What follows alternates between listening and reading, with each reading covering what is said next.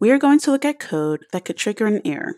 Recall that an error is a subset of throwables. They are an object that can be thrown by an app indicating a serious problem. We will look specifically at a Stack Overflow error and the best way to handle it. Errors are throwables that should not be handled by an app and indicate an unrecoverable issue with your application. Stack Overflow error is an example of a virtual machine error indicating that the Java Virtual Machine, or JVM, has run out of some kind of resource. In this case, the stack for the app has overflowed. To see this error in action, I created an app that involves the Fibonacci sequence.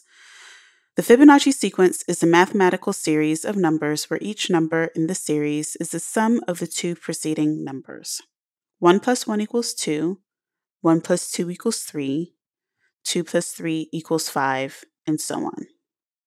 Now that we know what Fibonacci sequence is, let's review an existing Spring Boot app that provides an endpoint through a REST API that takes the number n and returns the nth number of the Fibonacci sequence.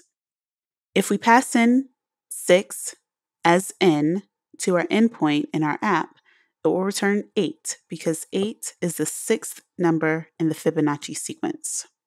Generating a Fibonacci sequence is a great way to learn and understand recursion, and recursing incorrectly could lead to a Stack Overflow error. I highly recommend reviewing recursion through a few of our other videos and courses we have available. In our code for this app, I have a standard Java Spring app showing in my IDE with a controller using the Rest controller annotation seen on line 6. This controller provides an endpoint defined on line 16 that takes in a request parameter of n. This method returns a response entity with the HTTP status of OK on line 18 with the body of the response containing the nth number of the Fibonacci sequence. This find Fibonacci number method uses a private helper method called Fibonacci, which is defined on line 27, and it returns the nth number of the sequence. The Fibonacci method is where we introduce recursion, where the method calls itself repeatedly to do a piece of work, which we see on line 29.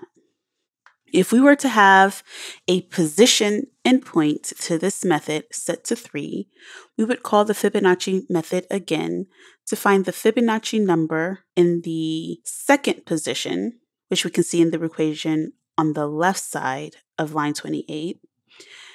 And we would call the Fibonacci method again to get the first number in this sequence, which is the right side of this equation on line 29. Do you notice a potential mistake in how this method is implemented? Don't worry if you do not see it. Let's run the application and try the endpoint to see what happens.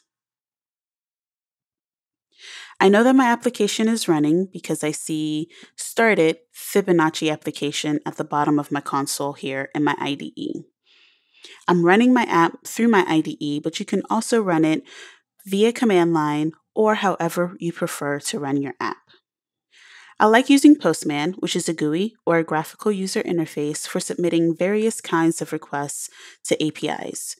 You can, of course, use whatever method you prefer.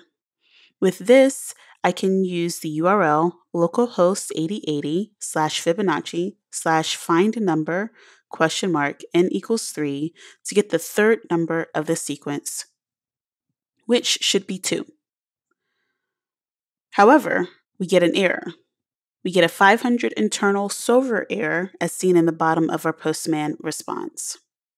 Back in the console log of our app, note that the stack trace has many, many lines pointing to line 29 in our controller. This is because we are using recursion and never stop recursing, leading us to continue to use more and more of the stack until the JVM no longer has space to use. At the top here, we see the dreaded Stack Overflow error. Errors are not likely at all recoverable, so the best way to handle them is to fix them or prevent them. In our case, this means adding an if statement in our Fibonacci helper method. If our position is equal to or less than 1, We just want to return the position variable itself. Now, let's restart our application and see if our code change was successful. Now that our application is started, again, because I see started Fibonacci application at the bottom of my console, I will try the request again. And success, we get back the result of 2, which we expect, and there are no more Stack Overflow errors. For other errors, we will have to figure out the cause, much like we did here, and make corrections within our app. You now understand what could lead to a Stack Overflow error and understand the best way to handle all types of errors.